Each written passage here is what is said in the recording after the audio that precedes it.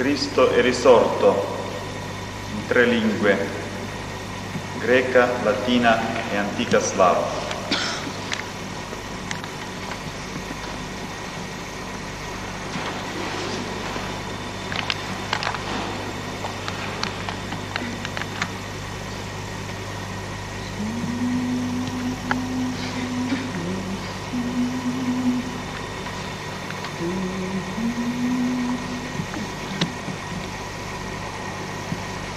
Brasil!